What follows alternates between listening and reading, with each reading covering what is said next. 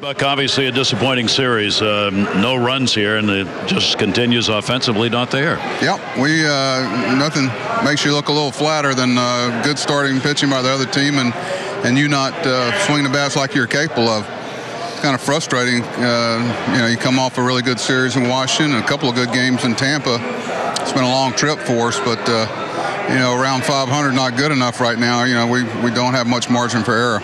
Look, it, it, seems as though the, the soft tossing, if you will, left-handers give this ball club some problems. Is that fair? Well, they give you know a lot of people trouble in, in the big leagues, and especially left-handed pitching when they can throw a changeup for a strike. And Gary, you know, you're in our locker room a lot. I mean, you know what they're going to do, and um, you know they still do it. You know, it's a tough day to see. I mean, that's why there obviously wasn't many runs scored on either team.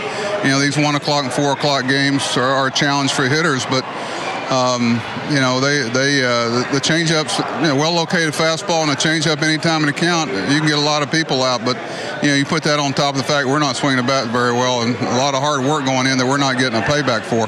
Adam Jones looked like at one point uh, play at second base. Maybe the back bothered him. Did, did he talk to you or you talk to him about it during the game?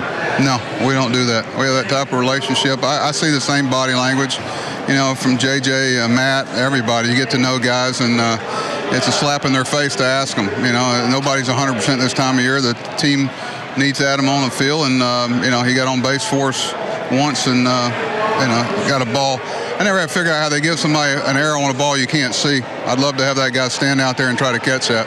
How about getting Zach Britton back? Uh, it's big for us. He was ready yesterday. Six days. It's time for him to get out there. He's, as you could tell, he was pretty full of uh, vinegar there. He had a little extra. Just, I think maybe the best two or three defensive plays of the game were Caleb uh, snagging those balls, running all the way across the plate at 97 miles an hour. Ready to go home?